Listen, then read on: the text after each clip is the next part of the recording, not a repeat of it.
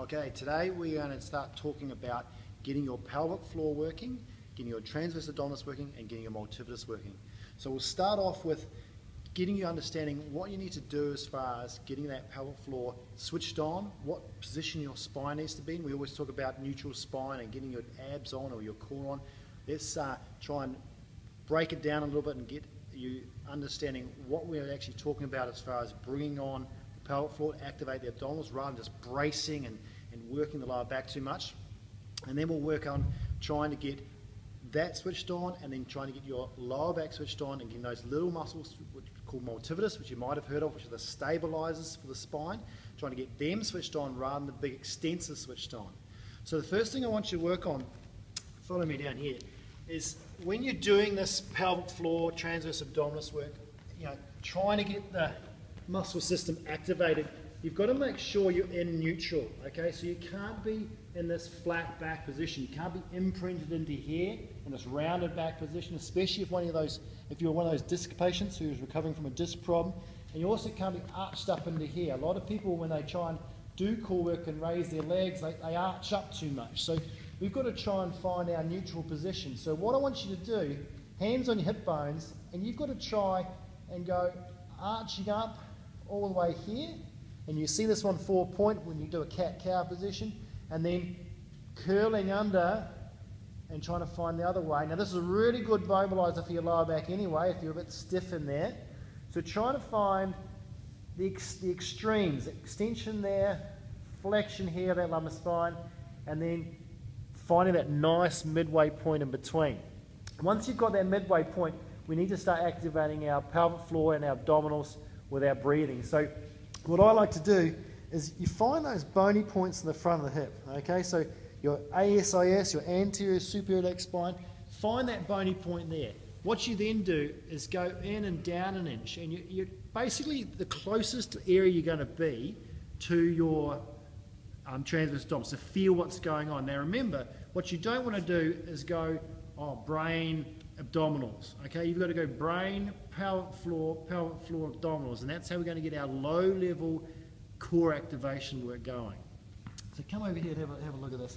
So if we try and think about, if you're breathing, what I want you to do is as you breathe out, you're going to tighten up or draw up that pelvic floor. Now, if you can think about the pelvic floor as your toilet muscles, okay? So they're the muscles that are going to stop you going to the toilet, all right?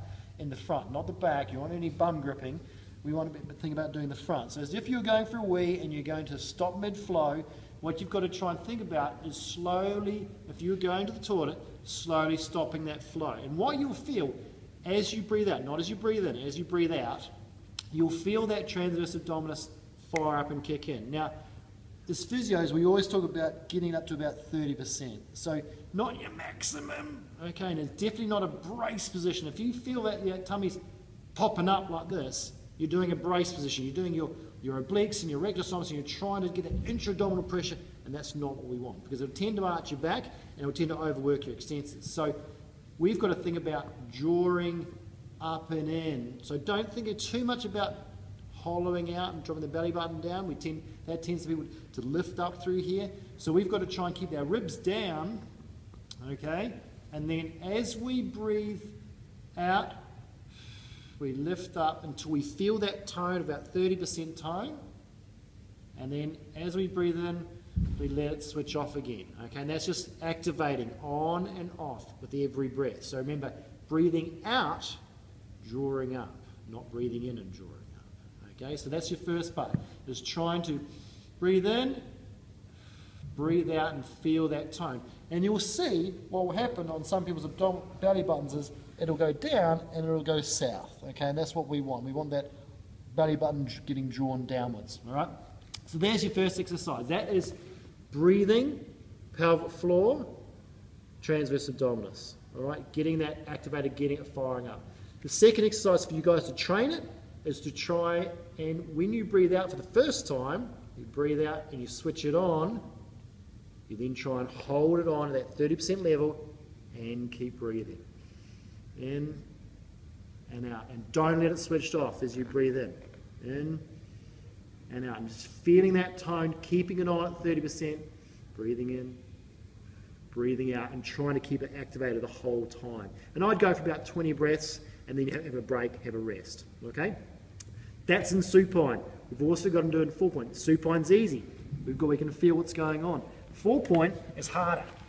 So when you go, what I mean by four point is you're like in this horse stance or cow position, okay? And what you want to aim for is arms straight down, thighs straight down, and again, start with getting that lower back into that neutral spine. A lot of people start here and they'll go sag straight into there. That's no good.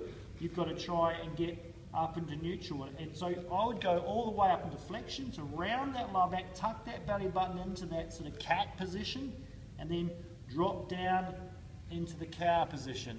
And just do that a couple of times, cat and cow, trying to really mobilize that lower back and then find your halfway point in between. Crucial thing is too, you're not drop down at the shoulders, okay? You've got to be up into neutral protraction as well. So you're not drop down into here. And so you're nice straight long spine through there, straight long head, and then you can try and get your breathing in and out. So remembering, breathing out, lifting up that pelvic floor. Now when you lift, it's sort of going to be this way, if you like. If you imagine those pelvic floor muscles are, are stopping mid-flow and they're coming up, so they'll be coming up this way. And what will happen is your belly will actually rise as you draw that pelvic floor in. Okay, so that's that breathing in, breathing out, drawing out that pelvic floor. Now, you have to feel internally for this one. You can't feel here unless you put one hand in, but that's harder because you've got to do it one arm. That's another exercise we'll go through later. So, working on that neutral spine, getting that pelvic floor activated. Okay.